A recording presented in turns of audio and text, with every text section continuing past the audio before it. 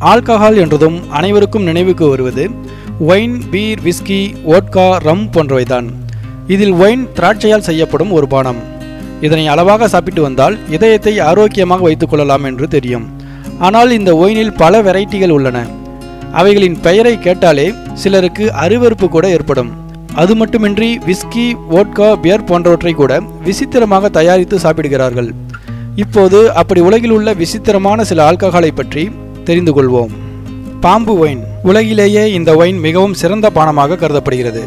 இது நச்சுத்தன்மையுடைய நாகப்பாம்பை மூன்று மாதம் நீரில் போட்டு பதப்படுத்தி வைத்து பின் அதனை குடிப்பார்கள். இதனை குடித்தால் வாதநோய் குணமாவதோடு செக்ஸில் அதிக ஆர்வம் அதிகரிக்கும் என்று கூறப்படுகிறது.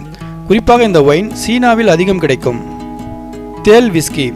இந்த விசித்திரமான பானமானது கருந்தேலை ஜின்செங் வேர் மற்றும் சில மூலிகையின் விதைகள் ஆகியவற்றை விஸ்கியில் ஊற வைத்து செய்யப்படுவதாகும். இந்த தேல் விஸ்கியானது இதயத்திற்கு மிகவும் நல்லது மேலும் தசை வலிகளுக்கும் சிறந்தது என்று கூறப்படுகிறது. எலி ஒயின். சீனாவில் கிடைக்கும் இந்த எலி ஒயின் பல்வேறு நோய்களில் இருந்து நிவாரணம் தரக்கூடியது.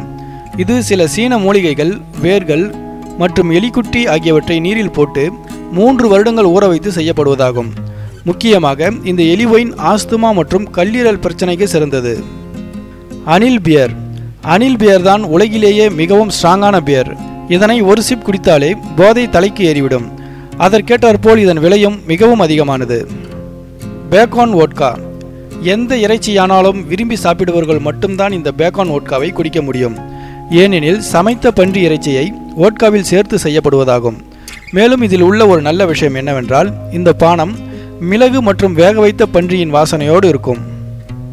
பள்ளி ஆல்கஹால். உலகிலேயே யாரும் எதிர்பார்க்காத வகையில் இருக்கும் ஆல்கஹாலை சுவைக்க நினைத்தால் அதற்கு பள்ளி ஆல்கஹால் தான் சரியானது. இந்த ஆல்கஹாலில் மூன்று பள்ளிகளை ஊற வைத்து செய்வார்கள். இது மிகவும் விலை அதிகமானது. இதனை ஒரு சிப் குடித்தாலே உடலில் எனர்ஜி அளவுக்கு அதிகமாக தோன்றும். கடற்பறவை ஒயின். இந்த ஒயினானது இறந்த கடற்பறவையை தண்ணீரில் போட்டு பதப்படுத்தி செய்யப்படுவதாகும். இதுவும் உலகில் உள்ள மக்களால் விரும்பி பருகப்படும் ஒயின்களுள் ஒன்றாகும்.